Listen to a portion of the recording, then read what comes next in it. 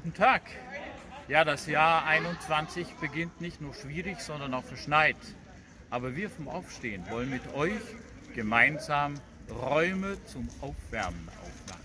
Die Themenräume zum politischen Streiten, sich auseinandersetzen, Lösungen finden, gemeinsam sein. Diese Räume öffnen am 24. Januar um 18 Uhr und eingeladen sind alle Menschen, die den Gründungsaufruf unterstützt haben. Das sind über 125.000. Das ist ein richtig einmaliger, ein echt einmaliger Aufruf in Deutschland. Und apropos Aufruf, wir stehen hier vor dem Nationaltheater Weimar, wo die erste demokratische Verfassung der Republik Deutschland 1919 verfasst und beschlossen wurde. Das ist Verpflichtung. Und jetzt gleich noch ein paar Details zu den Themenräumen.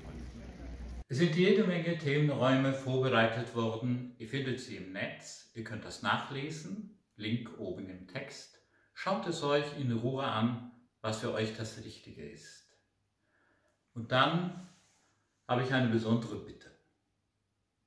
Lasst uns diese Themenräume gemeinsam besetzen. Streiten wir dort, diskutieren wir dort, finden wir Lösungen, gehen wir raus auf die Straße und in die Politik. Kommen wir gemeinsam ins Offene. Und wir dürfen nie vergessen,